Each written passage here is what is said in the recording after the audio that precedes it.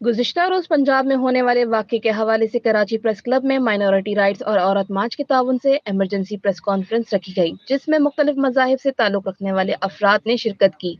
Minority wing के रहनुमा का कहना था कि जो भी सानहा हुआ, इसकी मुकम्मल तफ्तीश की जाए।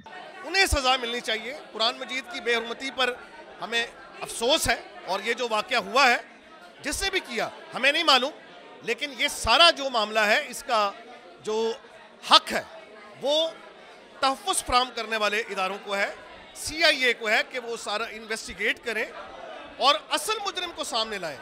अभी असल मुजरिम सामने आया नहीं था तो ऐलानात के ज़रिए से, मस्जिदों में ऐलानात के ज़रिए से हजूम को इकट्ठा किया गया और उस हजूम के, वहाँ की जो अकलीत है, वहाँ के जो लोग हैं, वहाँ के चर्चिस को, वहाँ के घरों को हजूम के हवाला कर, हवाले कर दिया गया।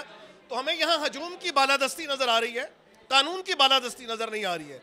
खुदारा हम ये कहते हैं कि कानून की बालादस्ती में हर एक शख्स को इंसाफ मिलना चाहिए ताकि ये रियासत अमन का गहवारा बने। प्रेस कॉन्फ्रेंस में मौजूद माइनॉरिटी राइट्स से ताल्लुक रखने वाली शीमा करमानी का कहना था कि आज मज़हब के नाम पर पाकिस्तान तबाह हो रहा है। मैं समझती हूँ कि जो हुआ है अभी कल। देखिए 11 अगस्त को डिक्लेयर किया गया था 2009 में कि ये माइनॉरिटी राइट्स डे है। 14 अगस्त को सबने पाकिस्तान का जश्न मनाया।